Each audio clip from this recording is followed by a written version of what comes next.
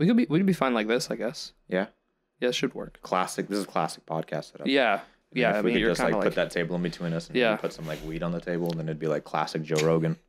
Um, I've, I've never, I've never, never seen a Joe Rogan experience? I've never seen a Joe. Rogan- Yeah, his whole thing is that he meets with like professionals in various Do fields. you have but like he's like a high Kleenex or some sort of like facial tissue? tissue. Yeah. No, I'm sorry. You not blow your nose in this house? I'll just Not use with toilet the tissue. paper. Yeah, we use toilet paper. Okay.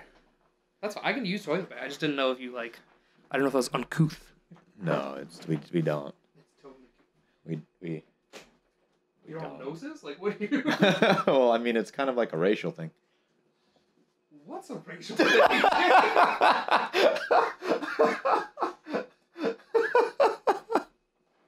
oh my god. oh. ah. Gongy gongy gong gong gong. How's it going, everybody? Zoinkmeister Patrick here, joined today by Zoinkmeister Adam. How are you? And today we are doing another podcast, which has been a while. Uh, kind of. I mean, there's also that part two of episode 10 that I think I'll be posting pretty close to this one. I'm But sorry. other than that, it's been a while since we've recorded a podcast. I never did it. It's been sitting on my desk. Honestly, there's a lot of stuff on my desks. I asked to have it by tomorrow morning. There's literally a desk on every single wall in this room, and all of them are full of things. They are very full. Uh, so uh, yeah, so this podcast episode comes at the request of Master Mostfa. Uh, so this one's for you, buddy. It was in uh, the last part of our um, what do you call it? Wolfenstein: The New Order playthrough. Uh, he asked, "Can you make a video talking about your current top ten? Would be really interesting." And I agree. So I decided to do this episode with Adam. Uh, but in order to make it a catchy YouTube video, blah blah, I decided to make it instead uh, each of our top 20 favorite games that have come out in the last 20 years. Um, the whole point was to do this before the next generation consoles came out and potentially upset the balance of what we think of as a video game. so, um, It's gonna upset, all right. so I thought this would be a fun idea. Um, so the, the the only rules are that we have to enjoy it. It has to be in order, and uh, it has to come out since the year 2000, and we're including the year 2000. Peridot. That's what your avatar is. I was. It was bothering me. I'm not. I haven't seen Steven Oh. Universe in like a year. I think that's Peridot. I'm, I'm sorry pretty if I got yeah. it wrong. No, I think it's yeah. I'm Yeah. pretty sure it's Peridot. Okay, so let's let's hop into this. Um, so yeah, each of these podcasts is usually phrased in the form of some sort of question. So the question for this one is, what is our favorite 20 games of the last 20 years? Um, so let's get started. Uh, number 20 is uh, so do you want do you want to list yours since mine's not actually pulled up yet? Yeah, yeah. So number 20 for me. Specifically, I mean, the original game came out in tw- 1994, but it was recently, I guess, re-released for Switch in 2019, available through the, oh, what is that called? Their online service. Nintendo Online. I, I guess so. Yeah, Nintendo like Online yeah. Services. Yeah. Yeah, where you get the free uh, SNES game. So it's Super Metroid. Okay. Originally released for the SNES in 1994, re-released in 2019. Is no, I'm thinking of Metroid 2 is the one that they recently redid on the DS, right? Where you could like it was remade for the 3DS. Uh, it was originally called Metroid 2 Return Return of Samus, and it was re- re-released as Metroid 2 Samus Returns. right, but that is not the game we're talking about now. We're No. talking about what again?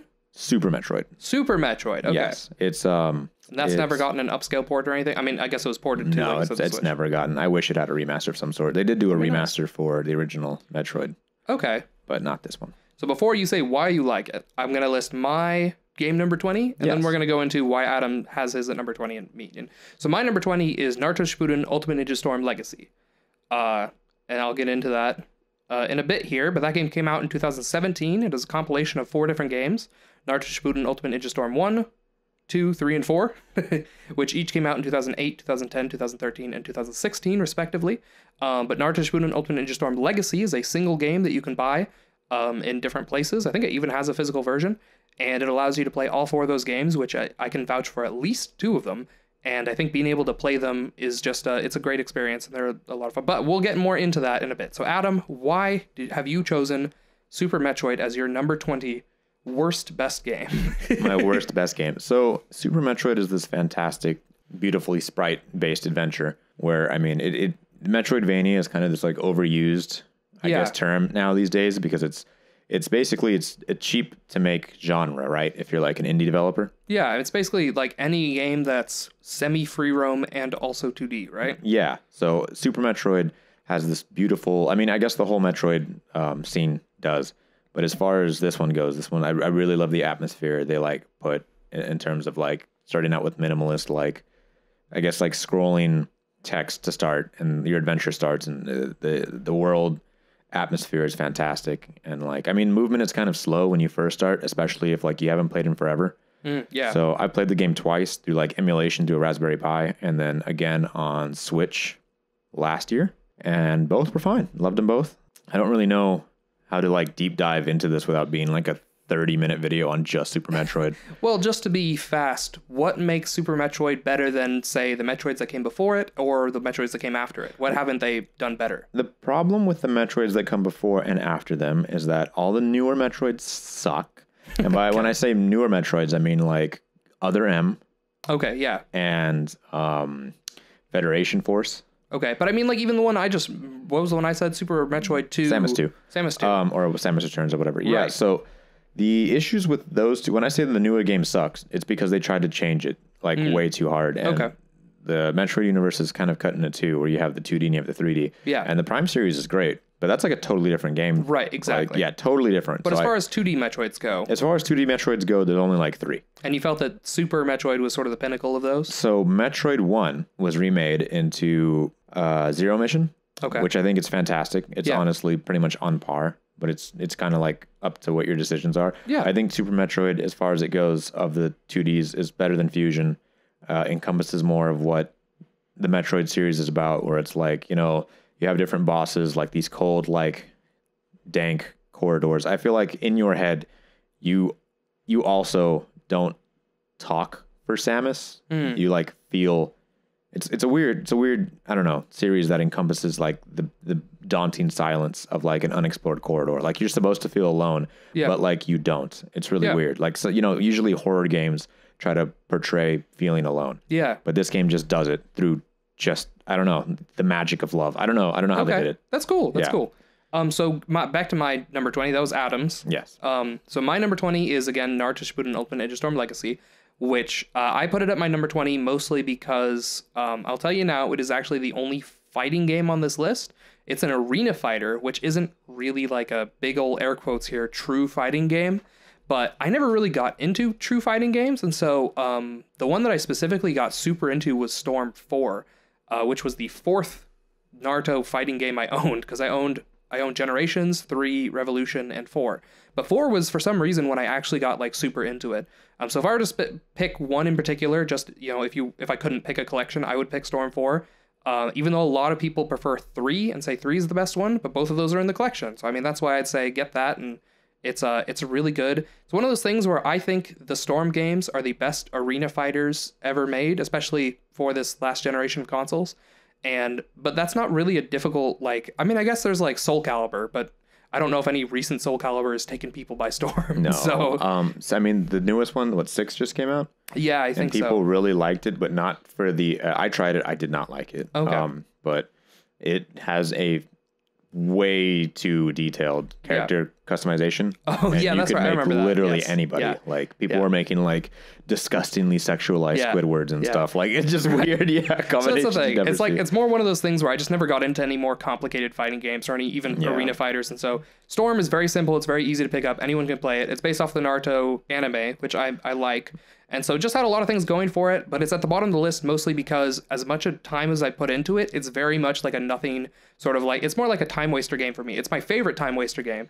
Like I, I loved going into it for a long time, but uh, it's always a game where it's like nothing about it uh, I've just never been a big fighting game person. So like it's sort of been the that represented that whole like genre of games for me. One thing I really like about the Storm series is I feel like they're one of the few games that really encompass what like a special move Yeah. means. Like they will cut away just to show like a Oh my goodness. gigantic like yeah, some of the some of the ultimates are like yeah they they they do like if you want to play a game for like cinematic value the like when you hit an ultimate some of those things are very impressive. Yeah, like like in Street Fighter, like Akuma literally at the end of what is it? Oh, which is it one of the alpha games where after you beat him as Ryu, he's like, "You did pretty good," and then Oh. chops the island in half, and that's yeah, his getaway. Yeah, yeah, yeah. Okay, so of course that's not going to happen inside Right. the fight. Exactly. But in Naruto Storm games, like that that sort of thing happens. can that- happen. yeah. And they have that in like J Stars, but J Stars way too jank. I cannot like I will vouch for Storm over J Stars oh any yeah, day. I own J Star's Victory Verse Plus. So like, don't even say Yeah. like we've played it extensively. no, we have. I'm not saying. Yeah, Yeah. no. It's like I think Storm is worth trying. Not, it's and not, an exposure problem. It's like we've been exposed. Trust no, me. no, no, no. I, I think there's other anime games out there, and four I think is the one most worth trying.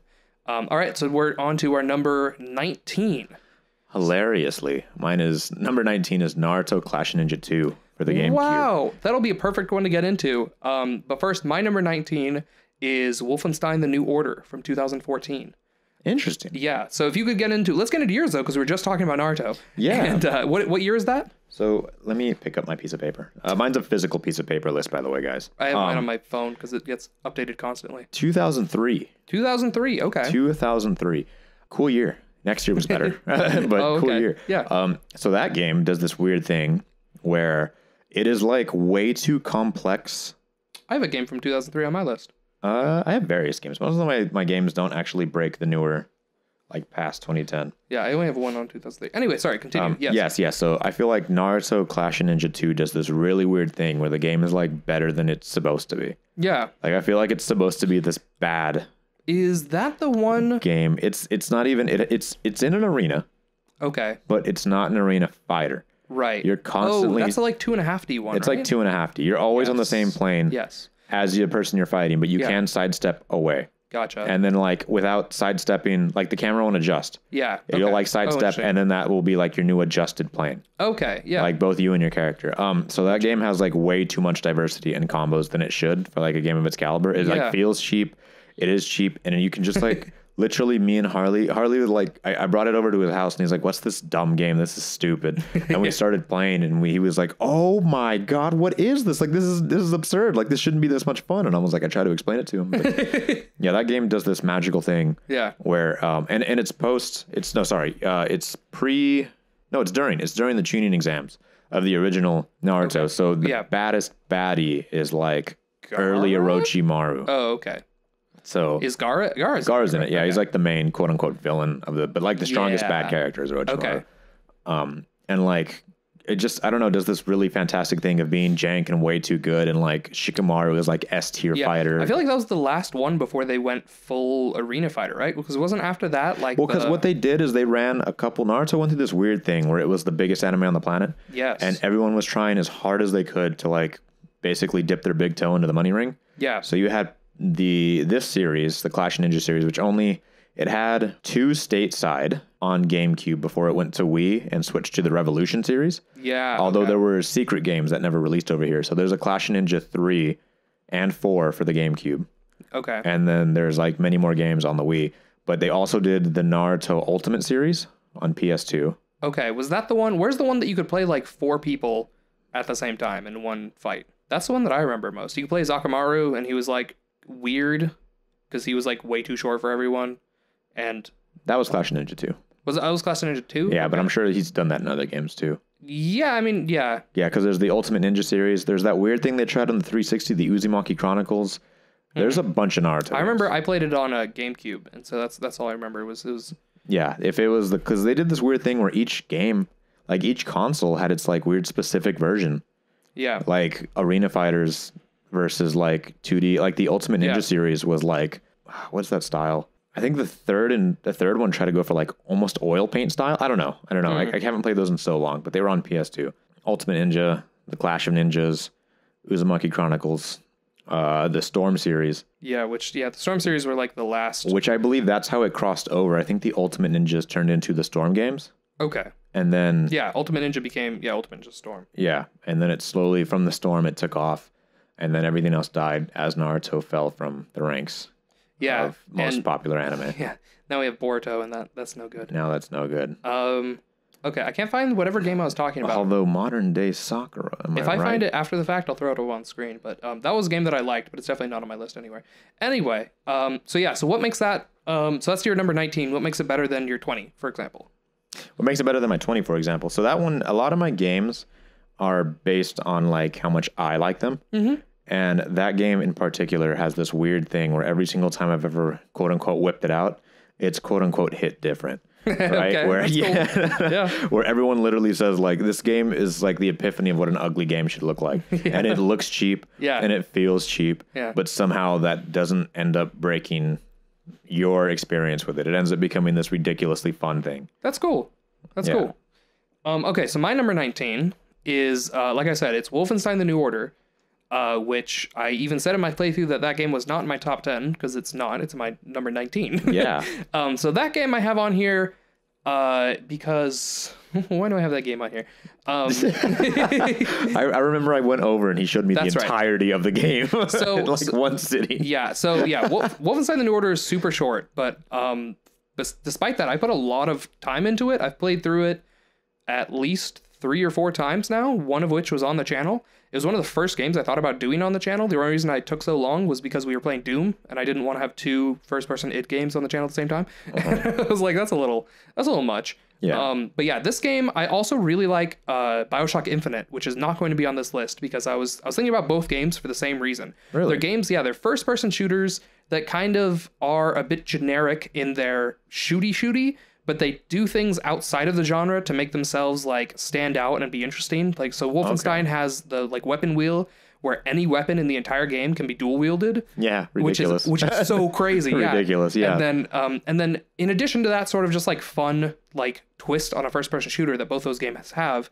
uh both Wolfenstein and BioShock Infinite have these really crazy stories where I think Infinite's just more trippy um and less like actually good. Which is why it's not on the list. The reason I ended up going with New Order is because despite how short New Order is, it does such a good job of sucking you in and making you care about the characters in the world and like what their goals are and like Delivers wanting quite to the succeed. punch. Yeah. That Yeah. one is like It's like, and it didn't take any time to do that. Like within like a couple levels, you're like on board with, yeah, Nazis are terrible. like, you know, Yeah. it, it's the thing is like, it definitely relies on those tropes, but it works. Like the, they make sure that the, like you're instant by level two, I was, I was like, I know who the bad guys are and I want them dead as much as the main character Yeah. does. And just does such a good job of that is just being like the most simple, heartfelt story um, and it just takes that and just like runs with it, you know. And so that that's why it's that's why it's low, so low on the list is just because the gameplay is very generic. It's just a shooter, but they do interesting things with it. I mean, I think it I think it earns its place, but um, yeah, that's that's why it's there, uh, and it beats out the Storm because it's actually a game I feel like I really have enjoyed. Whereas again, Storm's more of a game that I have. I, it's been more of like a slow burn fun, where every time I play it, I have fun for sure. But I never had like those like high moments of New Order where I like cried playing that game. You know, it was like Storm's just like yeah, no, it's it's a fun fighting game. Like I, I enjoy playing it. Yeah, it's fun. Yeah, yeah, exactly. Everyone's wearing sandals, but it's fun. all Right. Yeah. Yeah. Yeah. Exactly. Everyone's exactly. wearing sandals. Every The entirety of the series. yeah. If you're a Naruto fan and you never realized that, then go back. It's it's literally. I think for everyone. me, for me, it's not weird that they're wearing sandals. It's weird that I never looked at their toes. Like they all have them. Yeah, they all have toes hanging out. Like you don't understand. There's a lot of people who get kicked. Uh, like yeah, a if lot. You're, yeah, if you're into feet, like Naruto, you can That's see the place for you. everyone's feet. Like everyone, literally everybody. Even when they're drawn like with really low quality and it just looks like a Powerpuff Girl foot. like it's there. it's there. Um, so you want to go to 18 now? 18, I'm going to have to save in detail for later, right? Okay. It Yes, is- but you could say the name of it now. It is Assassin's Creed 2 for the PlayStation 3, originally released in the year 2009. Yes, which I have this um, higher on my list. So we'll get to it when I get to it, so that way I don't spoil my thoughts on it. Definitely. Um, so my number 18 then is Stacking from 2011. So stacking, Stacking. yes, Stacking is an indie game that um, it's a puzzle adventure game, and uh, I'm usually not a fan of puzzle games. Like that's the reason why it's so low. It's basically for the same reason why Storm was so low, and that it's in a genre that I don't normally love. But Stacking, I think, did it better than anyone as far as like puzzle adventure goes. Because that game is all puzzle, all adventure. like it's not, it's no like like uh, what's a, like other puzzle adventure games. Usually, I think people think of like God of War or Uncharted, where it's like there's adventure and or especially like And Uncharted puzzle. and puzzles, right? Yeah. That's not stacking. Stacking is a puzzle game at its heart. It's just instead of being like what's the like hardest core puzzle game in the world, like freaking I don't know Peggle. Tetris, Yeah, I don't- yeah, or Tetris, yeah, Peggle or whatever. Those kinds of games where it's like yeah, exactly. Where like the whole point of the game is it's just, or even uh, the witness, I guess. um, which just kind of like you walk up to puzzles and then solve the puzzle and walk away. Yeah. Uh, stacking frames each puzzle within the story and within the like actions of the character, whereas every puzzle doesn't feel like a puzzle. It feels like just a part of the experience that you need to do in order to progress. And um, and so I love the game for that. It's just I've never had a game blend puzzles so well into a narrative than uh, this game. We usually when you walk up to a puzzle in a game, it's like, oh, we're in the puzzle now. In stacking, you can't tell where the puzzles end or begin. They're just a part of the game. It's just a part of the world and a part of playing it. And so that's why it's on here. Is just because it, it I don't like puzzle games normally because they're just so dang puzzly. Where you're like, okay, it's puzzle time now. For the sake of being like, oh, Yeah. that's interesting. So the Right. defense to get in this tomb is a really like Right. not very complex Yeah. stone moving Yeah, puzzle exactly. where it's like any regular person couldn't move the stones, Right. but I'm Ex- Destiny's exactly, child, so that's why. And then the other way of looking at it is it's kind of like um, Dishonored, in that every puzzle has multiple ways of solving it, and it keeps track of every way that you've solved it. And so you can you can complete the game 100% by solving every possible every puzzle every possible way to solve it, which I've done. And it's a lot of fun. It's it's just like the game is so simple that you can't. I don't think you can die or anything. Like it's just it's very simple. It's just a lot of. It's so entertaining and creative and different from every other game. And so that's why it's on here. It's just like it's a game that I love talking about and telling people about and like recommending just because it's it's a game that you, I've not seen an experience like it anywhere else. It's cool. Yeah. so that's number 18 for me. Number 17. Number 17 Prototype 2. from what year? It is from 2012 for the PS3. Nice. Um, prototype. My number 17 is Grow Up from 2016. Grow up. Yeah. So what is what is oh, so what is your tell me about prototype 2, why you like it and then why it's here in this place. Prototype 2 has done this really interesting thing where not only have they I, I essentially it feels like the same game from the first game, right? Yeah. But the protagonist from the first game is the villain of the second game. Yeah, which is a cool I love that choice. Uh, Yeah, it's a great choice. It always like has interesting narrative ties, right? And then uh, one thing I always like is the whole like you know blah blah blah. You get to be the hero, and then long enough you see Yeah. why villains are villains. Have you have you um this is kind of related. Have you ever watched Tokyo Ghoul, the anime? A little bit here and there. The second uh, this is super spoilers for Tokyo Ghoul for anyone hoping I'm to not watch. gonna watch it, so this is like your last warning. Yeah. Super duper spoilers. If you're like driving and listening to us on the way home and like you can't fidget the buttons, like hit it now. This is your last warning. There we go. That should have been long enough. Go ahead, Patrick. It'll only take me like five seconds to say this. So you could just skip like right ahead. Uh, the main character from season one is the antagonist of season two. Okay, cool. Yeah. So I just wanted to bring that up because it's exactly what Prototype does, Okay. where it's Sweet. that same way.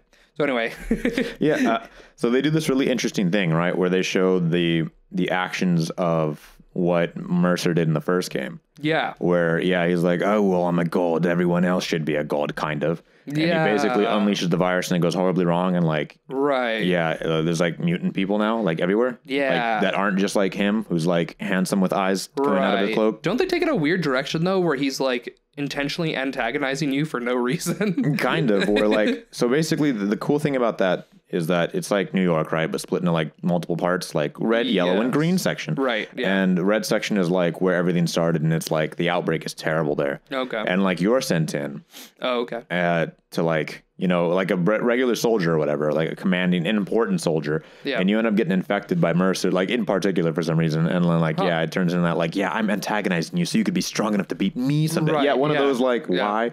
Um, but it did this really cool thing You of making you so mean about it. that game makes you feel strong. yeah. Like the more you upgrade the game, you literally and like not like far in the game.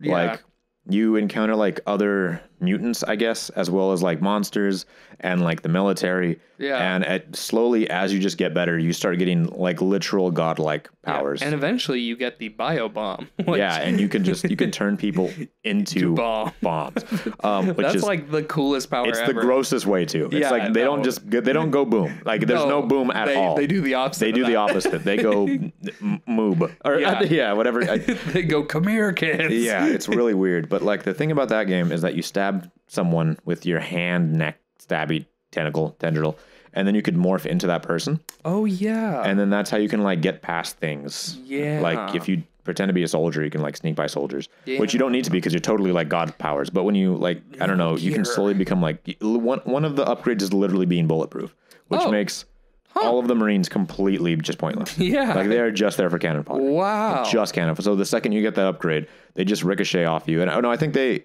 I think they they just like hit you and they do nothing, but then eventually they can ricochet off you and hurt other people. So that is Wow. that is like so far that I can think of a game that makes you the most godlike.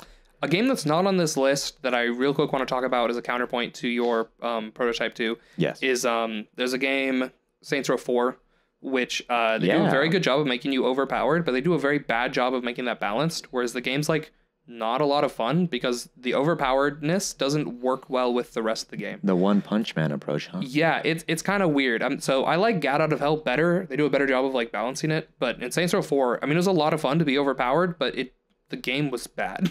So Oh. I just want to bring that up as like I think Prototype Two is a valid choice. I've never played through the whole game, but I from what I understand, I think it does a better job of using that. So why'd you pick this in this spot above like all the others? Um, underneath it, Yeah, what's what's why is it better than the other games you've said so far? um, I don't know, personal preference. I uh, yeah, I, I just don't. The, the I don't know how it's kind of hard. It's it's easy for like the one directly underneath it, but like as you go more into the list, I could see how it could be hard to be like, why is number fifteen better than the five previous? Yeah. You know, it's all subjective. Okay, So that's fair. I don't know. It just felt right. Yeah, that's cool. I just was. I mean, you know, sometimes you might have reasons, sometimes you don't. But I wanted to. I don't know in case it's there. particular. I won't for this game. There will be a game that's kind of like this game Yeah. later on. Okay. That probably will Right. have like a relative. Yeah, it's worth bringing up when it, you know, for each one just in case. But Yeah. um, okay, so then my number seventeen, yes, is Grow Up in 2016.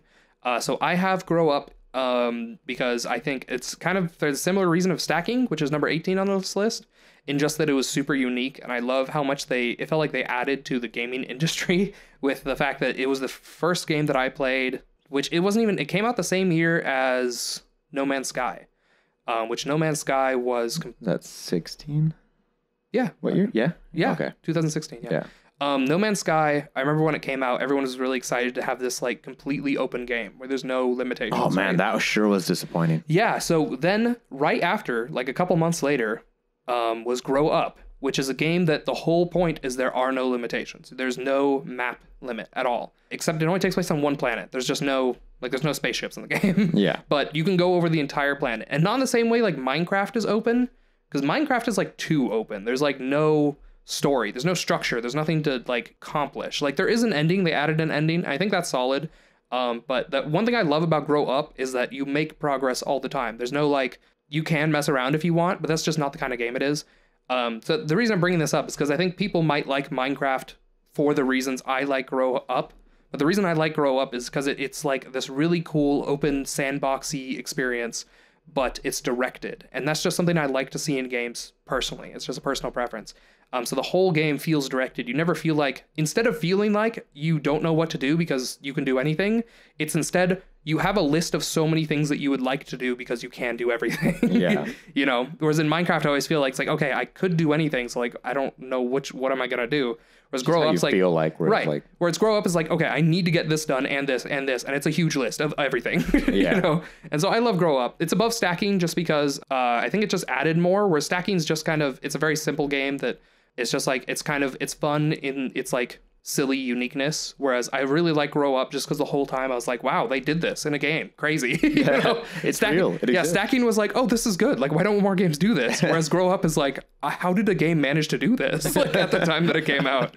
So that's why it's there at number 17 above stacking. Um, and I love it. Uh, and I just played Grow Home on the channel, and Grow Up's better.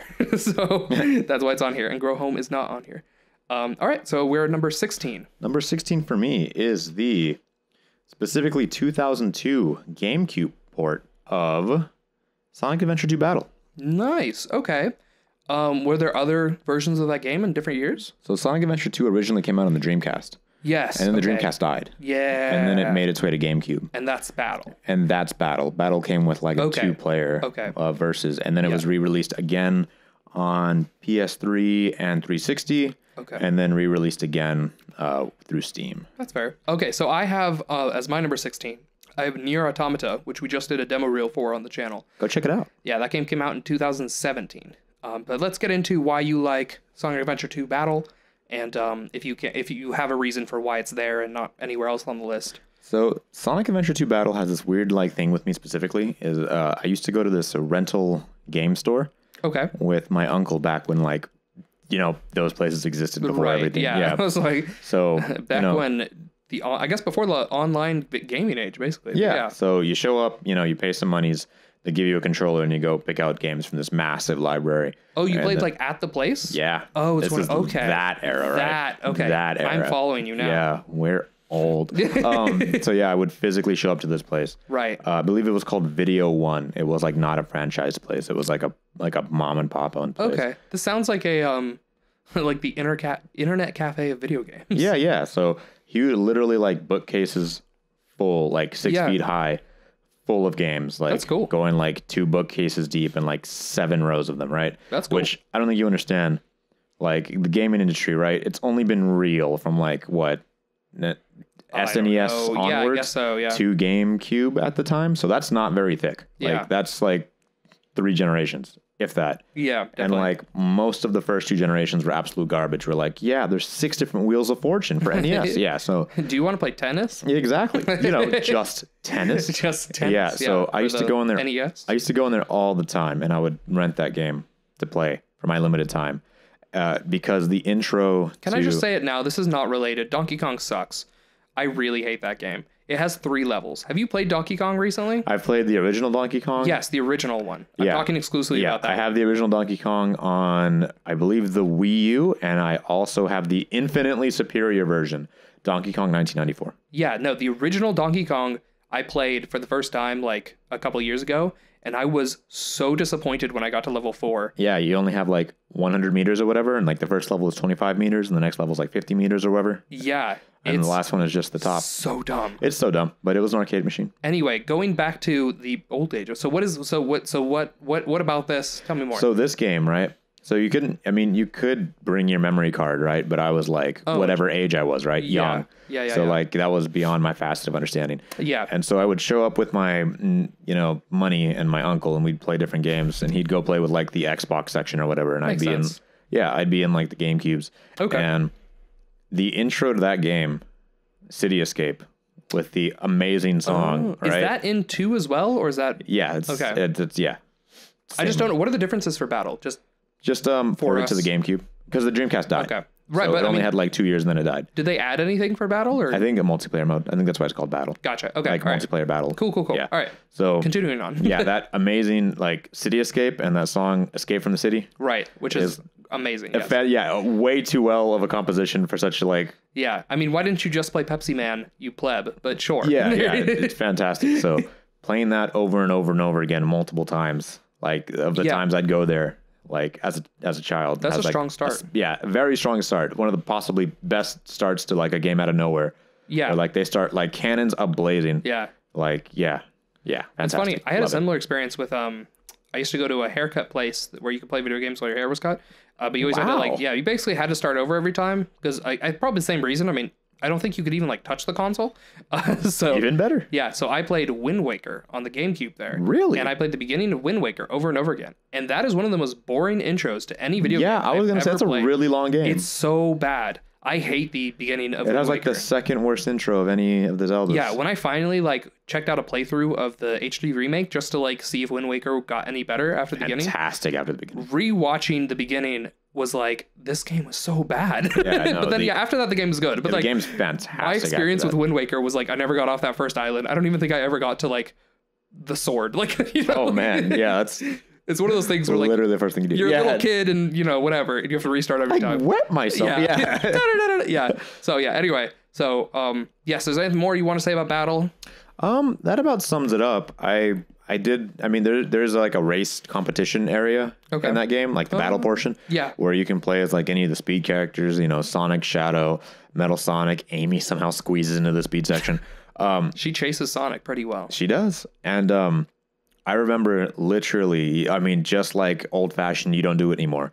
I would, you know, be sitting there playing and someone would be like, Hey, you want to play? Like, you know, two player. And then like they'd plug in the controller and we'd be, I don't know who these people are. Nobody yeah, knows yeah, yeah, yeah. We never learn anybody's names because, Right. yeah. And it was just a fantastic time. And that's like, you want to battle? yeah, I mean, the game gets like progressively worse, and like the voiceovers are really bad. But like that's a game I've literally played. I think I own it four times. I think I own it on Okay. every single yeah possible way there is. Except Didn't I buy you? Uh, yeah, and you even bought me one of them. so, yeah, yeah. That's cool. I think I bought you the Dreamcast one. yeah, yeah, Yeah. Fun times. Um, yeah, that's cool. Uh, do you have any reason for this being above or below any other games on the list, whatever? Nope. Okay. Um, what was mine? Yeah. We're Most, on. most of my reasons, uh, what are we on? 16 yeah. are love related. I Okay. love it. Only a few are like superior to others. You don't. Yeah, and you love this just more than the other ones. Yeah. that's fair. Um, I love her. my number sixteen is Nier Automata, which Yeah. came out in 2017. Check the demo. Uh, yes, I never finished that game, which is probably the biggest reason it's so low on this list. Quote unquote finished. because Right. that- Okay. that- I've gotten yeah, I've gotten 18 out of the 26 endings. Um. So yeah, but there's four main endings, and I've only gotten two out of the four main endings. Uh. So yeah, it's a weird game. Um. it's a good game. Yeah. The only reason I didn't finish it, by the way, I feel like this should be stated, is because like another game came out that I was super. That I think is higher up on this list. That happens. It honestly does. That's Yeah. happened to me quite a few times. Right. So it's like I love that game. It's just a matter of like I never got back to it after I played the game that like I like even more. So that's why it's here. But um yeah, what the game does well is it's I for me personally, I claim that this has the best writing of any video game I've ever played. Like the physical, not like the actual story, but like the like an English teacher comes in and grades it, sort of like the best writing. Like the fact that there's portions of the game where you just sit there and read, and that is like probably some of the best parts of that game. I don't think you've ever played I Am Bread then because You're right. That also has portions where you because sit yeah, I was gonna say the reading portions of that game are so good. Oh my god. That's the reason you play it. But it's yes, it's the reason you play it. It is so good. oh my goodness. So yes, Nier Automata. Uh, I absolutely love, love, love that game. That's just one of those games where uh, the gameplay style is unique for me, as I've never played any other of those like very character action games where it's like you fight and you have to like counter and then you know all that sort of stuff. Whatever, like Bayonetta. I've never played Bayonetta, whatever, and so Harley made me play both yeah, of them. it's very platinum. It's very, you know, it's a lot of action and fun. And uh, for me, it was very unique. It, it covers so many game genres. There's like there's a shoot 'em up section that you've probably never seen because you have You, to. you like constantly have a shoot 'em up too. Like I guess no, little- like the game switches to a top down shooter once you've beaten the first ending. The second ending is like most of the gameplay is a shooter, uh, where Wow. it's a top down shoot 'em up. Like it's the game covers so much. I mean, that game is just such a crazy like, and so many of the themes are cool. The character designs are great. The adolescent teen boys. Oh. Like, I love the voice actor for 2A, although I don't really like the character design for 2A as much. barefoot um, has bondos, huh? Yeah, I mean, there's so much. I love all the music. I didn't even get to cover that in the demo. I think I talked about it a little bit, but like, I have like three different songs from that game on my like Spotify playlist of songs I listen to regularly. Like, they're uh they're not for everyone. They're very like tribal and weird, but like, oh, I love them. Especially just because like I don't know, they fit to the game so well. Like every time you get to a new area and the new theme starts, and you're like, this is perfect. Yeah. like, like this is exactly the song that should be playing right now. And so it's just I don't know, a lot of things that game does so well. The only reason it's so low on this list is because I like I said, I never finished it. I mean, it's as much fun as it is, it has its problems. It's the level design is bland and jank and There's a desert that's literally just sand. Like It's- a it's- lot of just it's sand. so much. It's the biggest map in the whole game. yeah, and it's so it's you don't understand. yeah. It's not like like uh what's that Mario level in Odyssey? Oh the one that's like a the Mexican desert. icy, but the like- icy desert. Yeah, area, it's weird because there's like clearly Egyptian stuff, but yeah, it's like Mexican. I was gonna bring that up too. Like that level is probably like one of the worst in Odyssey, just because of how much of it is just desert. But you don't understand. The one in here yeah, is literally sand Yeah, it, with nothing in the middle of with the sand. nothing in the middle. Like Yeah, it's that that level's it's so just sand. Um, but yeah, so that I mean, as much as the, as cool as that game is, uh, it's definitely this low on the list just because there's like there's some jank that's preserved and like it'll you know it'll always be that way. It's a good piece, all right. Yeah, it's it's um it's a cool game. I think everyone should like check out. But like even just playing the demo. It came out exclusively for PS4, but then it like a year later got released everywhere else except Nintendo. So yeah, so if you thought Which, there was no way why. for you to check it out in the meantime, no, you can definitely get it you on can get it now. everywhere basically. Yeah, except Um, Nintendo. Yeah, although I would recommend at least looking up a plot story for Nier Gestalt or Nier Replicant, just because the it's a direct sequel to those games. So if you're interested in it, probably look up something on those games. But yeah, um, the reason I like this better is because Platinum d- did the gameplay and who, no one did the gameplay for the original Niers. They're not. Oh, they're yeah. not the same level of quality at all. No. Um, all right, so let's get to our next one on this list. Yeah. Um, in fact, now that I look at this list, like I was starting to think that the top ten might have to be a separate list. Uh, yeah, definitely. I was expecting the bottom ten and the top ten to be two lists. Yeah. Um, so I'm gonna have to save this one as well. Number 15 Wow. for me Okay. is the 2014 Beauty Infamous Second Son for PlayStation right. 4. Okay, so I'll get to my number 15 is Star Wars Jedi Knight Jedi Academy, which originally came out in 2003, uh, which is when I played it on the Xbox. Um, but it has since been remastered in 2020, and you can play it on Switch if you're interested. But I've never played that one. So I I've- totally forgot that came out. yeah, so I have no clue how good it is on Switch. I've never played it. But I did play it on. It's also on PC, um, but I played it on the Xbox. Uh, so Star Wars Jedi Knight Jedi Academy is a game I grew up with. Jedi Knight 2 Jedi Outcast. I played a ton of that game, and I was very excited when I found out Academy existed, the sequel. Um, and so I bought that, I played it, and it was a very memorable experience. Uh, the reason why Academy is on this list and not Outcast is when I was deciding which one to put on this list, which was a long time ago, not for this podcast. um, I watched a speed run back to back of Jedi Outcast and Jedi Academy. And I realized that I remembered almost nothing from Jedi Outcast and almost everything from Jedi Academy. I was like, wow, I thought I liked Jedi Outcast, but no, I just only played the first level basically over and over again as a kid. Happens. yeah, whereas Academy, I played through the whole thing and all of it feels super memorable. Like, because it's level based. I mean, so is Outcast is also level based, but it's very, um, it's a bit more open. It's really difficult to tell what you're supposed to do at any time. It's like very much like discover like what to do next. Whereas uh, Academy is much more linear. And so it's just for me as a kid, it was much easier to get through and actually finish the levels. No, you've reminded me of this very special thing that can no longer happen once you're old enough. Okay. Of when you discover a game and then find out it has a sequel. That is like something you cannot do as an adult because Yeah. by that point you already have like the I don't know intellectual prowess to understand when a game's going to come out and like have excitement for it. Yeah. But like right now, if you were to somehow missed like Marvel Spider-Man yeah. and played it and then like a week later like it took you a week to beat and Right. the, the ps5 came out with miles Right. morales Yeah. and you were like this game has a sequel like Yeah. that would be such an amazing feeling and i honestly i can't remember the last time i had a feeling like I mean, that. for me, it was a matter of like, like I said, I grew up with Outcast. Like, I played so much Outcast, and I found out about Academy like way later. So we're talking like, like I probably found out about it like two years after it came out. But for me, that was like five years after I played Outcast. I mean- so i don't know i can't think of a time where like i was happily like no i can't i can't think of a time where what? where like i got a game and then found out like the sequel was like this Oh. game has a sequel You Yeah. know? like where i wasn't waiting for it Because it's not called Jedi Knight 3 is another thing. It's called Jedi Star Wars Jedi Knight Jedi Academy. They Yeah. dropped the 3.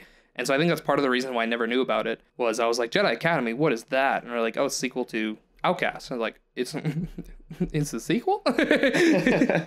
But yeah, that game's a lot of fun. It's like super jank nowadays. Um, it's like very stiff, and it's not the like. I mean, Fallen Orders come out, so you know all of it's very stiff, and and it's one of those things where like as much as I love it for the nostalgicness of like I played it as a kid, I don't think I would enjoy that game if I played it today. It's like way too stiff. i think uh, i think now that i think about it i did that with a prequel instead Oh, okay. i played metal gear solid 2 Yeah. and then Metal Gear Solid 4, Oh. and then was like, Metal Gear Solid 3, totally different feel to it, right? takes place in the jungle. Played it, Yeah. smash, could not believe it. Out of the park. Yeah. Fantastic game. yeah. Three's a lot of people's favorites. Oh, yeah.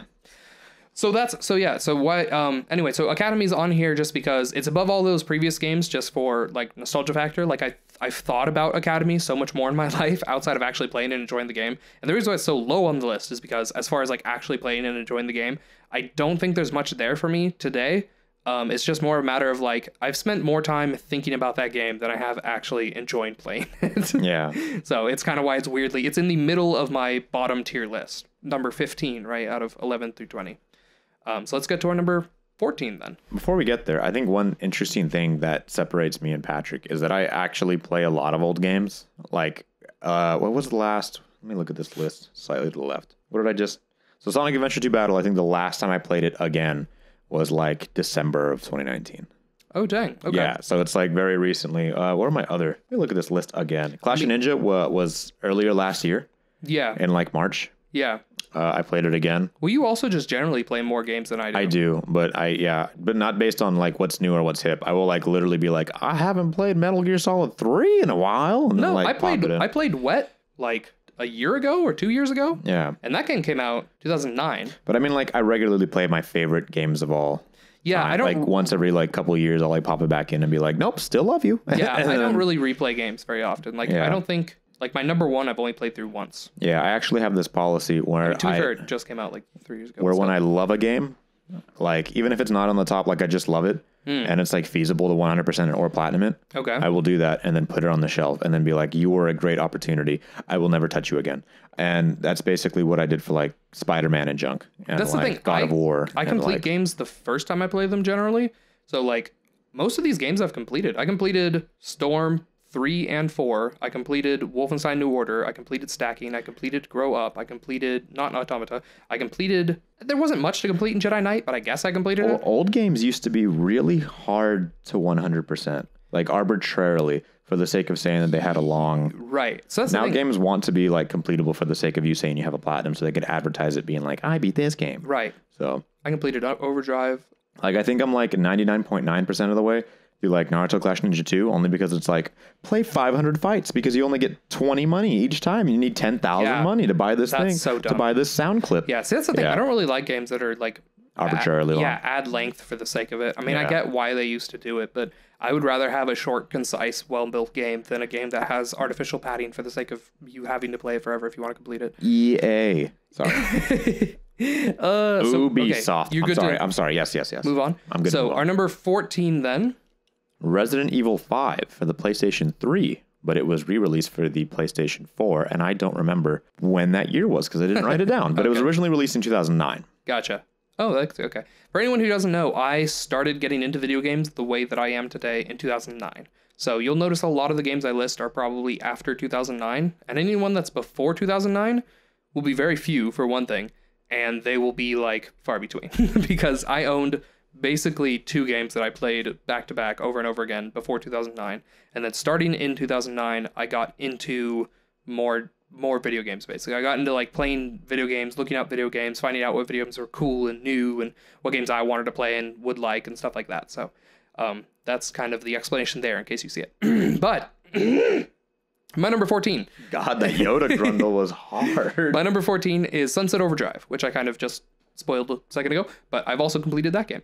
Um, that game came out in 2014, but I didn't play it until the PC release in 2018. And if you're interested in getting that game today, I recommend getting the PC release over the original console version uh, because they added one basic fix, and that basic fix is probably the biggest thing ever. But I'll get into it when I talk about it. So, what was your number 14? Resident Evil 5. That's it. So why do you like that game and why is it there? So If I'm can- sorry, whatever. the PS4 version is the one I prefer, Okay. uh, which was re-released in July of 2016. Okay. That game, which we're playing it on the channel, by the way, go check it out. Yeah. Um, is this really fun game that's both co-op fun, like couch co-op friendly. definitely. Um, I guess it can rare. be online co-op friendly. Yes. Has like an interesting story. Yeah. Is like oh, it's interesting. dummy thick fun for the sake. Yeah. It's like dummy thick stupid. yeah. Like, I mean, you know what happens to that poor boulder, and like, what are you doing, Step Chris? You know, it's like very Yeah. yeah. So, uh, I, I I don't know. The, the gunplay in that game is fantastic. It has a- excellent replay value because it incentivizes like a, a currency to get unlimited ammo weapons, Yeah. which becomes like stupid. Like you literally break the game. Sorry, it does this amazing thing where I feel like if your game is good enough to be broken, Okay. and still holds up and gets more fun, Yeah. then you created just a fun game, yeah. Yeah. Yeah. Like fair. without everything else. Yeah. So, uh, like you said, um, Saints Row. Yeah. it became less fun because Right. it was broken. Yeah. That is like the wrong approach. Like Resident Evil, it's like you you start out basically like you know scrounging for bullets, Yeah. and by the end of it, you have so many, and your weapons are so over like powered that they can shoot anything in one shot. Yeah. And you're like, oh no, I'm still gonna do this level again for no reason, just Yeah. because the sake like the gunplay is so much fun, the challenge they present you. Like you literally can take out bosses in one hit at like once you get like That- certain weapons. That's the kind of game that I wish I owned when it came out. Like, in you said 2009, right? Um, let me double check. Again, it's on paper. Uh, this game came out in 2009 and then re-released Yeah. for 20. I wish I had gotten that game back in 2009 when it came out because I love playing that game every single. When you first showed it to me, we played through up to a certain point together um, at your house. Yeah. Way before the channel. Um, Way. And I loved, loved, loved that game, and I wish I had gotten it uh, just because I love it so much. It is not on my list. Um, but it's one of those games where I feel like it could have been if I had had the time to put into it that you have had. Yeah, it. I'm not gonna lie. The pl- playing that game a couple times through is fantastic. Getting the platinum and 100% in it is quite the task. Yeah, playing on the hardest difficulty seems a little dumb. Yeah, but- you have to play on all. You have to do S rank, which is the highest possible rank, on all three difficulties. Yeah, and then once you do that, it unlocks professional difficulty, where you like die in two shots. that's dumb. Um, and then like you have to S rank all those, and then you have to unlock all the unlimited ammo weapons. It is it it honestly is just a chore at that point. Yeah. Uh, like I found an exploit to like rake in the most cash, and even so, that still took like. 30 hours Yeah. 40 hours try that's trying to break the game to Right. go faster Yeah, that's but dumb. it was still fun the entirety of the time was fun it like never became like monotonous to not blow up things with overpowered weapons I mean, but at the same time yeah like having to grind to not stay there for 50 hours is like Yeah. how you know i feel like that's one way you should never do that with a game but one way i one thing i will say is that for 360 players you guys had the better experience because on ps3 it was going through that weird you know where like ps3 had its hair all different and wore like the really tight skinny pants and Ooh, buckled down and said no i want to shoot with the bumper buttons yeah. terrible yes. terrible time oh my god so yes ps4 rectified that switched the triggers i believe if even if you want to be like a sadist and you want more punishment and like really pull on those nipple clamps you can still switch it back Oh, if no. you want Yeah. but for the most part the ps4 slash xbox one i guess pc as well i don't know version would be the best way to do it PC, you can't play couch co-op. Just all right never mind yeah so Yeah. ps4 and xbox I actually one. bought the game for PC and then found that out, and I was like, "Well, this is stupid." so that happened. oh man So my game, uh, Sunset Overdrive, is actually my number one favorite game for traversal mechanics. I think it has the best traversal mechanics in any game, as far as like getting around the map and all the stuff you can do. Whatever, it feels the most engaging. go check out the videos they're also on the channel Yes, I have a I have three videos on Sunset Overdrive. And the third one covers why I think the PC port is better than the original game. Uh, which is because in the original game, if you wanted to complete that game and buy everything that's in it, like all the costumes and all that, okay and all the guns, um, it's the grind is like basically impossible. Uh, what you were supposed to do is the original game had this online mode that you could play with four people online, and that was the best way to get one of the currencies in the game. Because there's two different currencies. There's money, and then there's overcharge. Um, and so the overcharge, there's no good way of getting overcharge in that game, uh, other than you were supposed to play this online mode. But that I don't think that exists anymore on the Xbox. i'm sure it doesn't Right, because it's multiplayer. So for the PC version, they just made it so that the best way to grind money gives you an equal amount of overcharge, like for value wise. I don't think it's the same actual numbers, but like the amount that they cost to like actually use them is about the same. So um, all you have to do is play replay the challenges, and the challenges if you get the best rank, you can play the like speed challenge, whatever, and get the best rank on that, and it takes like ten seconds, and you can get like ten thousand monies, which is like you know a ton. like you Yeah, know, yeah. so you can like easily grind up and get everything in the game within a like very very reasonable time frame. Um, versus in the original, if you play the Xbox One, money is easy to get because you can do the exact same thing. But um, oh my goodness, the overcharge is impossible to get in the original Xbox version of the game. So as much as I love that game, uh, I do like I recommend the PC game to a degree that like I would not recommend getting the Xbox game today at all. Um, but yeah, why I like the game, yes, it traversal's good, but pretty much everything else about the game's bad. The, the story is just a joke. Like it is intentionally just humorous. There is no actual story in the game at the all. The bad guys like mountain dew or something Yeah, it basically, yeah, it's it's really dumb. Uh, the character customization is a lot of fun. I think what that game does better than anything else I've played is the amount of customization the game gives you. Is like everything's customizable. The way you want to move through the game is customizable. The way you want to fight the enemies is customizable. The way you want to look is customizable. Like just everything about the game, it like takes customization and says like, what can we do with that, like as a concept. And I think it does a great job with it in a lot of aspects. Um, the reason why it's here is um it is a game that I had a lot of fun with and I always wanted to go back to, which is one something that the other games on this list don't have. Like I never feel like, man, I could really go for that game again. Except for um the Storm game, but again, that's more like a little but whereas this one had like some really exciting fun moments where it's like getting to learn the navigation system and learning how to do that most effectively and you know eventually getting to a place where moving through the world feels natural and secondhand is like a really cool experience. I think it does that really well. So that's why it's here at number 14. So we can move on to number 13. Number 13 for me is, um, I mean, it came out in like, what, 1993, but I'm talking specifically about the 2017 SNES mini version of Mega Man X. Wow. Okay. Yes. Uh, that's my number 13. That is my number 13, yeah. My my number 13 is Halo 2. Wow. which I played back in 2004 on the original Xbox, um, but it has been remastered in 2020 for the Master Chief Collection. fantastically. Um, that was one of Adam's previous ones, right? It's on the No. ups. It's us, so Yeah. we're not going to talk about that one yet. We can't talk about it yet. yes. So, so what is yours? So for my what did I just say? Mega Man X, right? Yes, Mega Man So X. yeah, I was like, what are we on? Uh, That's so, crazy. Yeah, Mega Man X, right? So I I played a lot of emulated Mega Man X on like my old family's PC, like growing up when I was younger. So why are you so bad at it? So why am I so bad at it? right? So that game is just hard, right? That mean, it like is, that is like yeah. classic hard. It's like fun, right? I've beaten that game several times as a child, but it's one of those things where it's like I probably like put in like way too many hours as a child. Yeah. Where when I went back and played it with you on the channel, all except the last episode is on the channel. Um, Yes. Like we had so much fun and like everything was like a laughably horrible time, but it was like still without a laughably horrible time, right? Of us just sucking. It Yeah. was like a snappy, like well made, beautifully sprite worked like piece of art, right? That I'm sure was like at the time of its release on the SNES was like top of its class. I'll take your word for it. But on top of that, as we played, right? That rewind feature specific to the that is so. this- that yeah. changes the game. that changes everything. It literally is like, oh, you've died, have you?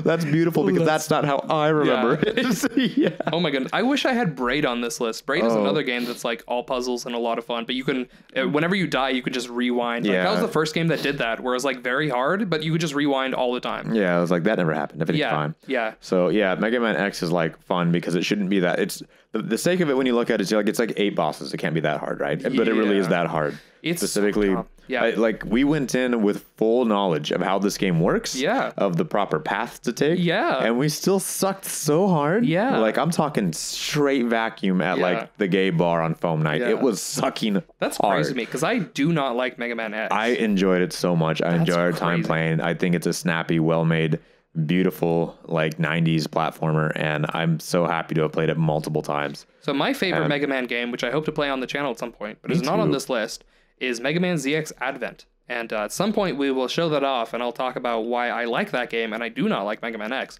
But um, I think that's interesting. That's crazy. I'm surprised it's so high. Like Yeah, it is. I, I like it. It's a really fun game. that's so crazy to me. Yeah, I played so much of it. I thought it was a fantastic game. It's like one of those things where, like, whenever you whip out like a top 10 90s list or a best like SNES games list, it's always going to be there. That- you And, know, like I remember having so many personal memories with that game. it's one of those things where like when we started playing on the channel, I thought we were playing it because it was like, oh yeah, all Let's players like play Mega Man X at some point on their channel. I'm sure. I didn't realize you actually like that game. No, I like adore that game. that's I think crazy. It's absolutely that is beautiful. that is news to me. It is like one of the. I think it possibly might be one of the most beautiful sprite-based games ever made. That's insane. By far. I disagree. Gorgeous, and the move, the music aside, from the title music, is or the menu mu- or the, the the boss selection, the one that just repeats that you love so much. That's the Da-na-na. worst. that is the besides that one. oh, all gotcha. the music okay. I is thought you were saying that was your favorite. I was is like, like I'm gonna kill you. fantastic. Like oh, that really oh, presses the sound chip to the I SNES to the. that freaking It menu sounds music. so good. have, you, have you played like Owlboy?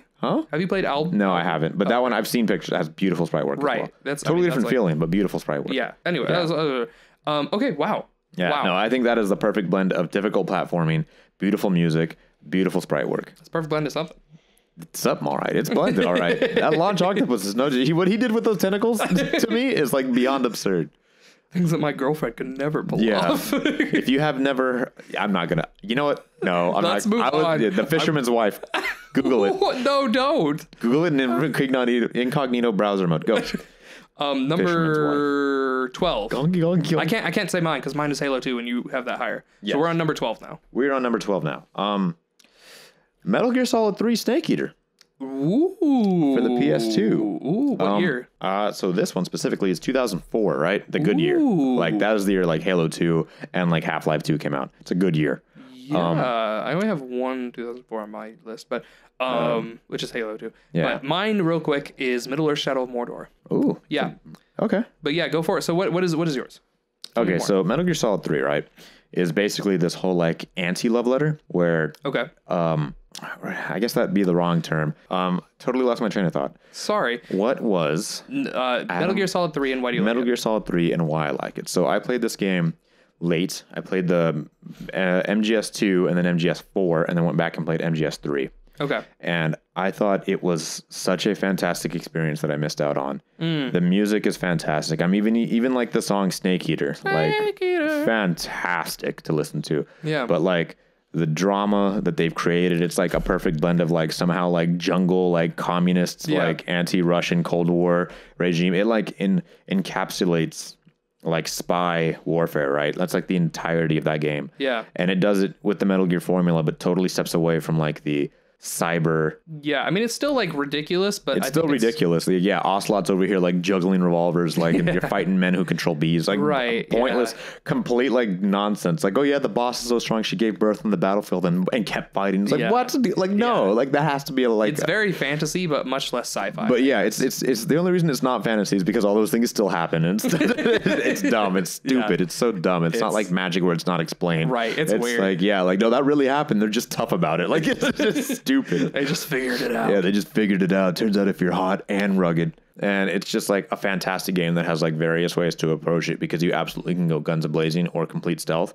But there's like areas where you're basically like punished for it. Yeah. And, and for your certain decision, where like, you know, oh yeah, I'll just go in guns a blazing. They'll like turn and I'll just shoot you immediately. Like, okay, that doesn't work. Yeah. So like, so I have to go stealth here. But like, you know, I don't know, classic Metal Gear turned all the way up. And like that game is kind of like a sorry note from Hideo Kojima because everyone was very disappointed with Raiden's appearance in Metal Gear Oh, yeah. Solid 2. Right. So like he went for like a Arnold Schwarzenegger, like Rambo, like you know, all the, the famous '80s buff guys, like Yeah. all ripped into one beautiful Yeah. mulleted man. It's crazy the number of games you play as Solid versus other characters. Like that's like the Uh, only yeah. one where you play as like boss. Naked Snake, yeah, Yeah. Yeah, Yeah. Naked Snake, yeah. It's pretty crazy. yeah, and it's like fantastic. Yeah. I think if you haven't played it and like two or four is like your favorite game, or even five, it might like change your mind. It's a really good game. Yeah, it's cool. It's Been a- remastered like several times. So it has an entire section devoted to you listening to a song and doing nothing else other than pushing up on a controller to climb a ladder. and it's like a really long ladder. I'm talking like the bottom of a missile silo ladder. And like the best part is like it's such a good song and the atmosphere of the situation you're doing is so like one to one where it's like we might as well have you listen to this song. It's like it doesn't feel it doesn't feel like you're sitting in a room holding the up button for 3 minutes uninterrupted. it feels like you're listening to just like I mean, you're like, "Oh, this is the sex for my ears button." Oh, like no, yeah. Oh no, please don't. Fisherman's wife. Yeah, yeah, yeah. Go okay, ahead. so I'm sorry, Fisherman's wife. You Google it. keep saying that. I don't like it. My number 12 is Middle Earth It's different. Shadow of Mordor. Yeah, so that's interesting to me because that's like a recent game that I like don't remember being too good. Essentially, I completed it. Um, but yeah, 2014, Middle Earth Shadow of Mordor.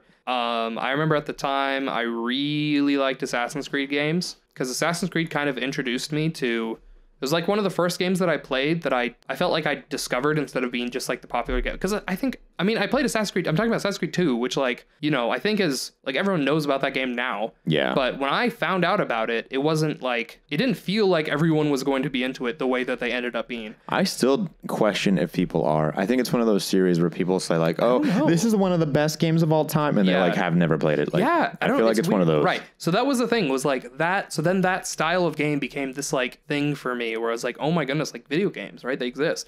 so And they're like this, just like this. so should Middle I'm Earth Shadow never gonna get Mordor- burned out of this. Middle Earth Shadow of Mordor, I felt like at the time was the best to do that style, where it was like supposed to be sneaky and you could do a lot of it sneaky, but then like when things got bad, there was combat and the combat was very like and it was counter. like Batman-y, right? Yeah, it was based off of like the Batman style, which was like an improvement of the Assassin's Creed style, which was you could hit people, but like there was like the counter system you had to watch out for and stuff like that.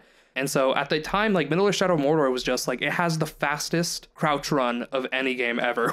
Like Which like, is great. Yeah, Middle Earth Shadow of Mordor I think is probably the fastest stealth game I've ever played. Where like you just like sprint across the battlefield, but like in stealth. Yeah, which and is so it's just I don't think you understand. Like, really think for a second how like like sliding, like you know, worming your way like past a guard. Yeah. Only for him to turn around because you were warming so slow. Yeah. It makes the entire like last thirty. The 30 seconds you've been crawling, Right. But the entire five minutes of stealth you were just doing right pointless, Pointless. It's so annoying. Yeah. So, it's in like- this game, it's like speedy stealth. yeah, the whole time you're like, that guy's like on the other side of the field, but no one's looking, so it's like, sprint, sprint. Yeah, yeah. and no one hears you, and it's great. I love it Objects so in much. the mirror may be faster than Yeah. appear. So it was Yeah. like I felt like it was the my favorite stealth game. I th- I'm sure there's other stealth games that have done stealth really well, especially if you're a big fan of stealth and you like that slow plotting stealth. This is not that at all. For me, this was like what I always wanted stealth to be, which was like sprinting full speed across a battlefield to like chop someone in the neck before they could turn around. So I really love that game. Uh, I think if I were to play maybe like Ghost of Tsu- Tsushima today, that might do it better. Ghost of Tsushima. It's I just gonna spoil it right now, right? Uh, not the game. I'm not gonna spoil the game. it was Um, like, oh, okay, wow, that's uh, like my games of the year 2020. okay. It currently holds best game wow. for me, and uh, the only thing I think that can dethrone it right now is Miles Morales in a few days. Oh, so yeah. we will see. Yeah. So that's the thing. Ghost of Tsushima is if I had the time to play it and I had played it, it could replace this on my list as being like my favorite of that kind of game. Yeah. Where it's like combat-y but stealthy and all that sort of stuff. But I haven't played it, and so it can't be on this list. And so for me, the the last game that I played that did that super well and I super enjoyed was Middle Earth Shadow of Mordor. And uh, and it's also takes place in Lord of the Rings universe, although that doesn't it doesn't add to the Lord of the Rings universe, but the Lord of the Rings universe sort of adds to it, sort of thing. Where like a lot, I wasn't really into Lord of the Rings before I played this game. Like this game's like part I of the reason. I still am not. this game's pretty much the reason I decided to read the books. Like just because I thought it, I realized how cool the universe could be. And the Middle of Shadow of Mordor, I feel like, is probably even cooler than the books present the universe. But um, it's just don't know. It's just me and Harley have talked about it. I told you that Harley went on a on a quest where he rewatched all of them, I did not know that. and he didn't like any of them. Really? Yeah, he said it was just a bunch of hairy men with feet hair just walking through forests with a whole bunch of dialogues, bad guy being giant eyes. It was just a whole lot of nothing. That's crazy. Just a bunch of like bunch of hairy men and I feel like covered in dirt and then one handsome guy every so often. I feel like you should give it an opportunity. It's a really crazy story. I mean, it's I don't think it's bad. I'm just telling you like a secondhand, like comedic approach to the way Harley described Yeah, it. me. no, no, no, Because hilariously, the way I'm describing it isn't far off from how he described it. It was pretty much a one to one of how he yeah, described it. yeah. Yeah. No, I mean that's crazy to me. I mean, so if you read the book, there are long periods of the book where they are just walking, and the movie does a very good job of having long periods of time where they are just walking, and you're like, wow, this is surprisingly accurate to the book. Yeah, but, But- I feel like that's the part of movies people don't want to be accurate. you know? right, exactly. And so that's like, I don't know. It's one of those things where yeah, And they walk sexy, Legolas said. I don't. I don't know. No, it's just yeah, no, definitely. The majority of the movie is two like powerless people who are short and small and can't do anything, Don't forget their hairy feet. and they have hairy feet. They have hairy feet. and they are taking on. I mean, in the book that doesn't come up very often, but yes, you see it all the time in the movie. if you're like Naruto, those feet are always there. yeah, the whole point of the movie is just the fact that like it's they feet. unreasonable, like unsurmountable odds, and uh, the the protagonists carry on despite every. I mean, it's the ultimate. Hilariously, that is also the plot to Naruto. It is ult- this is the ultimate story in perseverance. I feel like, but um, but that's not the point. Middle Earth: Shadow of Mordor, on the other hand, is not that. You like wreck shop, and uh, I think it's really cool. They added the Nemesis system, which was really unique. Uh, and I think it did a really cool thing for just having these like unique enemies that you fought, and different ones had like different things that they could counter. And Did you play Shadow of War? no, I never played Shadow of War. I, I played the demo, but I haven't played the full game, and Oh. uh, it was just too much. I tried playing the demo, and it like it made the game way too big for me. I was like, this is a, this is a bit too much for me.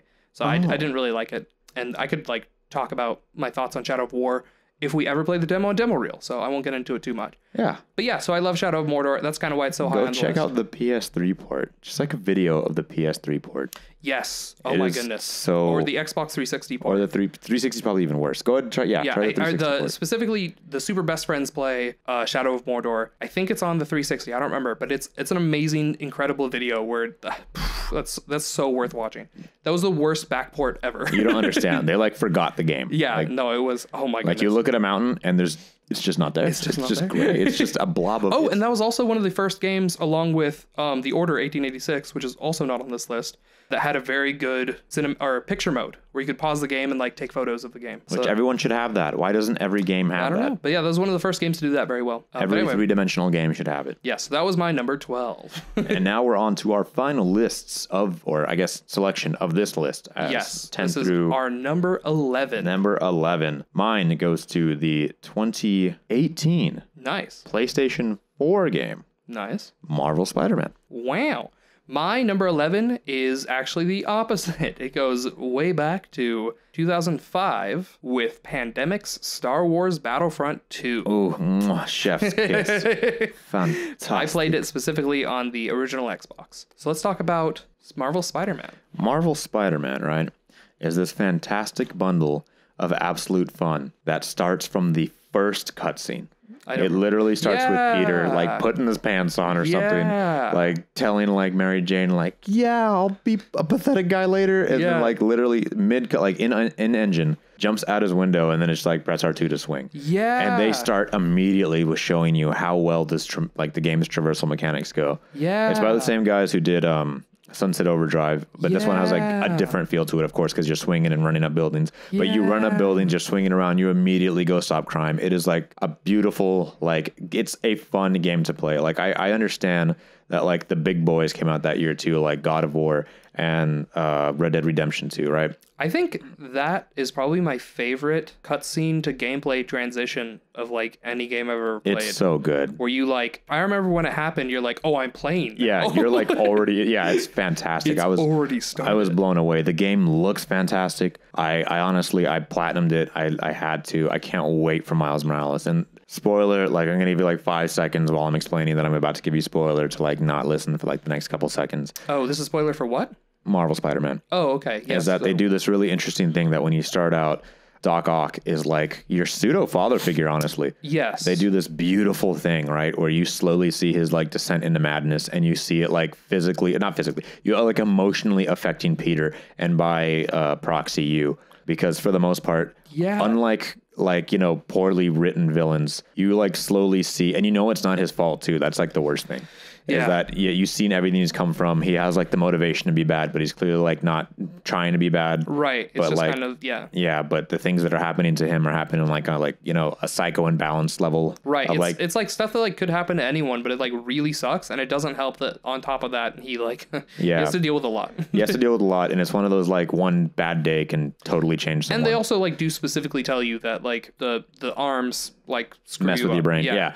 So, and then on top of that, like, I mean, you lose a lot in that game, like a lot. Like, you basically Yeah. jeopardize like your like you know relationship uh, with like Mary Jane. You like lose your pseudo father figure Right. because he turns evil. I think that's safely the best Peter Parker game. Oh yeah, I think it's just the best Peter. Parker, like probably at all. Yeah. He's a, Um, yeah, that was a great. I mean, all the voice acting in that game was incredible. It was the only time I've ever liked Mary Jane in a story. They did this fantastic thing where they literally made Harley question whether or not his life was useless or not.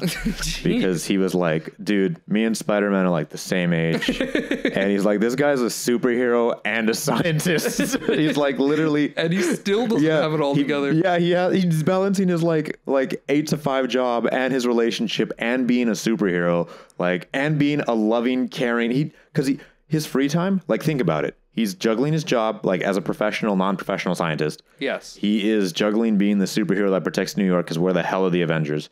He he juggles. Weirdly, his- it's in that game, but they never show up. yeah, he, he juggles trying to like be a hero and like help Doc Ock with his stuff while trying to like keep Mary Jane. And on top of that, this guy has the audacity to lovingly help charity work. right. That's Like, his. Yeah, his free time is uh, working at a homeless shelter. An amazing young man, and like this is like year eight, I think they tell you Spider Man. Yes, year eight, which yeah. sounds like oh, like he, you know, he's a professional. It's like, no, dude, he started when he was like fifteen or something, like sixteen. Yeah. He's been, I mean, yeah, he's been for like a long time. Yeah. but he's still like a young man, which is very interesting because you'd think at this point when I mean, usually you see origin stories for guys. Yeah. you don't get to see like oh, he's already been doing this. He knows what to do already. Right. And still have like narrative plot to struggle with is a fantastic approach. I, mm, mwah. And it was a great explanation for how you can fight so many people at the same time as Spider-Man. Like, Yeah. it would not make sense if it was an origin story and also I can beat up ten guys at the same time. Yeah, was like, oh, you, you know, Rhino and like, Yeah, yeah. It's like, what? Why am I so you- good at this? You guys are all here, huh? And I'm Yeah. really fending all of you off. Yeah, and then oh man, they just oh,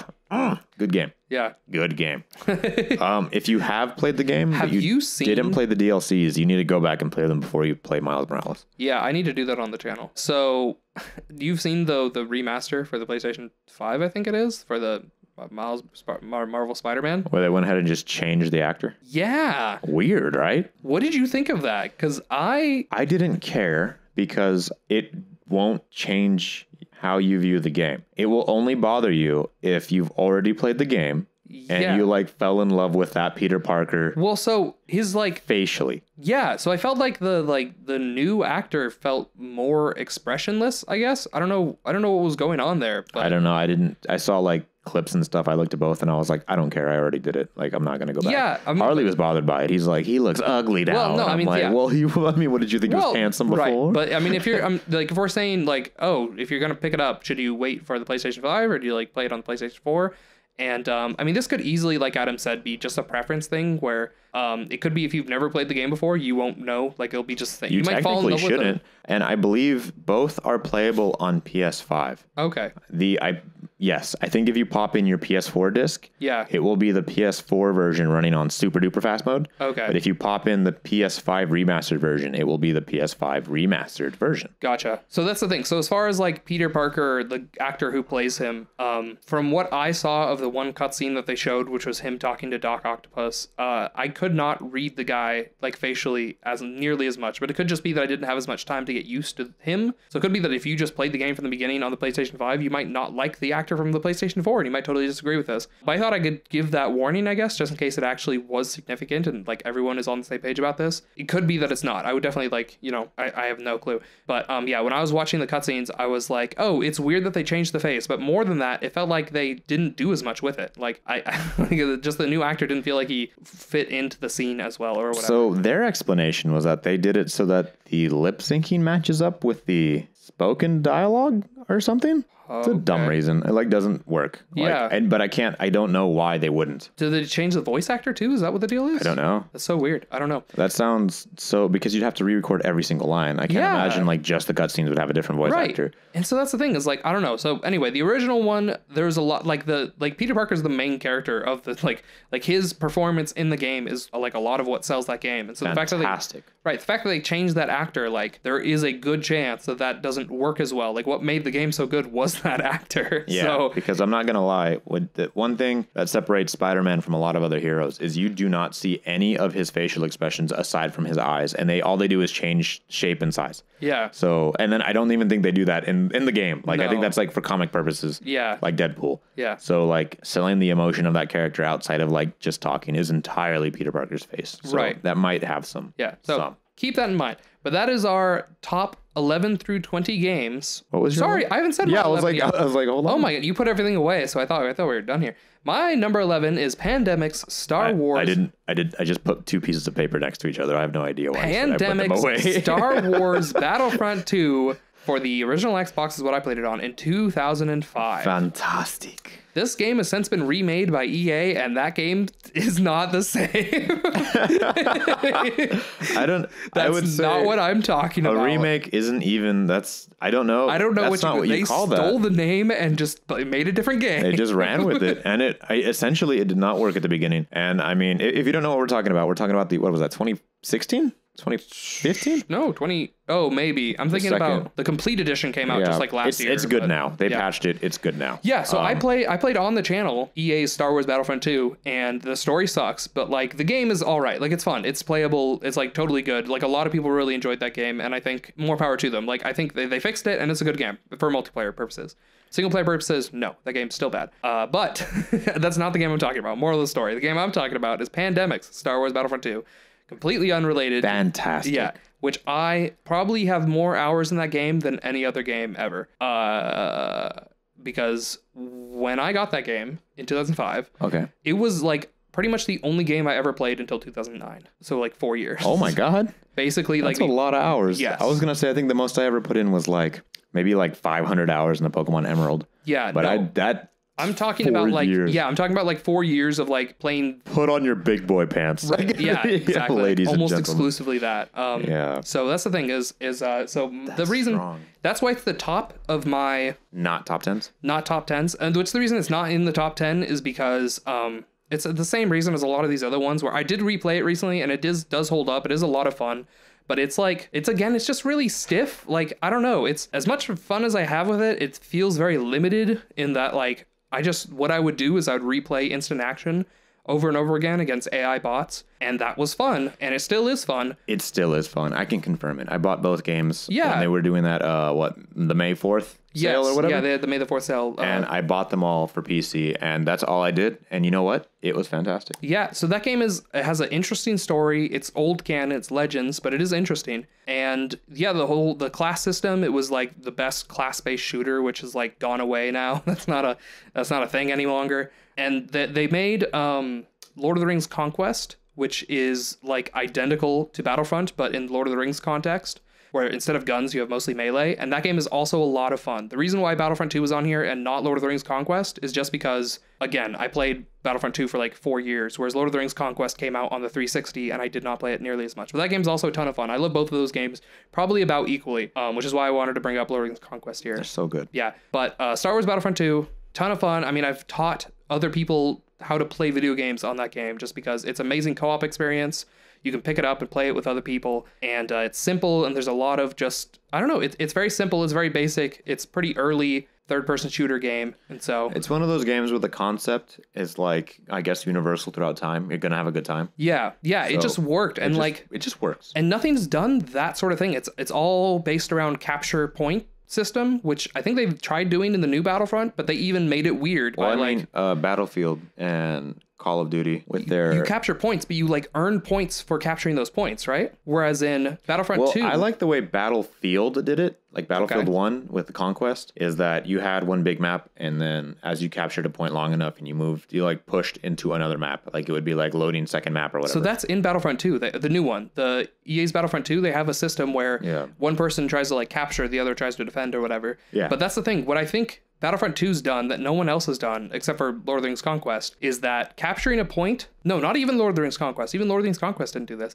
In Battlefront 2, capturing a point doesn't give you any winning advantage. It gives you exclusively, excuse me, exclusively strategic advantage in that now your enemy has less places they can spawn from and there's less areas you have to aim towards. yeah. And so that's what I love about that game is that a main portion is to capture the points, but like you can win by capturing all the points, and that will not allow your enemy to spawn. like Yeah. they could have more units than you do. You could have killed them less times, but if they can't spawn, then they can't win. Yeah. And so it's just a really cool game. Whereas like winning becomes more of a game of strategy than it does a game of like actual shooty shooty kill kill, uh, which is unique for a team based multiplayer game like that. to explain, like when you start a match, it'll say like you have like 200 people. Yes. Or whatever. And then like as you play, of course, you will die and so will your bots. And then your number will go down. And if it hits zero, then you lose the match. But Yes. alternatively, like he's saying, th- and there you is get points to capture. Yeah, and you get less spawns when you get down to like whatever. There's like ten people per team, and if you only nine spawns left, like those nine people are nine people on the map, and someone's not spawning in.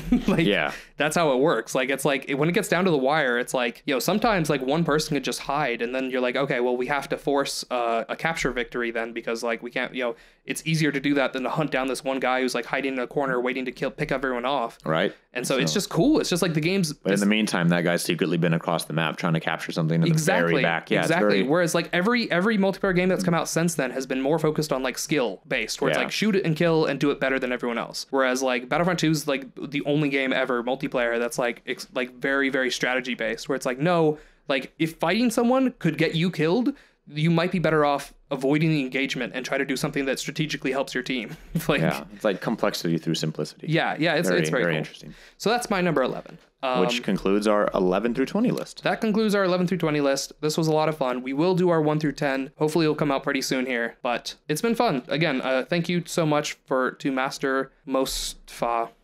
yeah, they they took them down because I am grounded. yes. And uh, what? Does it? Does it? They took them down. Whatever. Um, That's disturbing.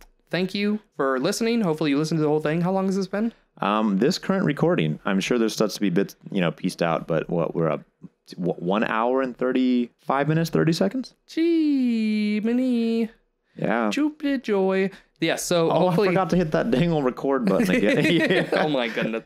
Hopefully you enjoyed this. Hopefully you stuck around. Um, I'm gonna of course have a table of contents at the bottom. I would understand if you skipped this whole video because most people aren't into like, yeah, what is their 11 through 20? But whatever. It's a fun. It's a fun. It's a fun. so I, I I don't know. I really I really like doing this. I'm glad we got this opportunity. I learned some stuff about Adam and his favorite games that I did not know at all, especially Mega Man X. Yeah. And uh and I got to put you know my own games out there that are Pants off dance. my favorite game. Yeah. Um, but yeah. Also, I don't have Octodad on this list, which is another game I really like. Was that okay. in was that, was that supposed to be in the top I 20? mean, I like Octodad, but no. Um, Nobody suspects a thing. Nobody suspects a thing. Yeah, like I also don't have Valiant Hearts: The Great War, which is a game I love to talk about. But Really? yeah, I love telling people about that, even though it's not one of my top. I don't know. I have this weird trauma where every time I hear Hearts, I think of Kingdom Hearts. No, Valiant Hearts: The Great War is fun. And before you say like I don't even play the games, Harley again has made me sit down. I've played the games. It's his fault. It's his fault. Yeah, it's his fault. okay, thank you so much. Please, You've been fantastic. you've been fantastic. You, if you're around this long, you're you're good. You're Yeah, good guy. if you're love around this, you. you. might as well. If you've listened this long, then you probably already have liked and or commented. yeah, right? exactly. So We- thank I don't think we need to. We need to say thank you for We that. We need to say thank you. Yeah, we if you've probably already said something, already commented, Yeah. you probably already subscribed.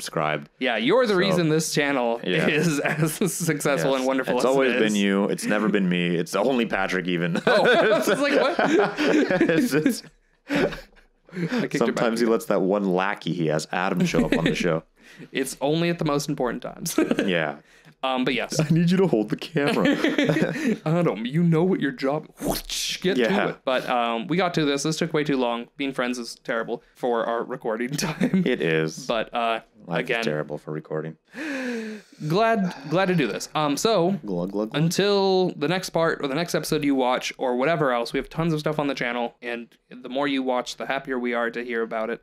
Just please don't drink and drive. Sure. Yeah, definitely. Okay. Well, with that, Zoink, I, I don't know what else to tell the, the they're already subscribed, commented, and liked. Like I don't. I gotta like think of other. Be safe. You've uh, yeah have a great day. yeah. Have a great next time. Have a great however long. Uh, If you're not in the Americas and no civil war has popped off, then we'll see you next time. I feel like that's yeah. I mean, this must be crazy for like I, I saw these memes recently where it was like like you know a European guy like laying in the field. I think it was like Mr. Bean specifically laying okay. in the field and it was just captioned like waiting for the US to explode. yeah. So uh, whatever, it's it's great. Zoink out. Zoink in. Zoink me all about and do I just every joke every single time. It's not it's not good anymore.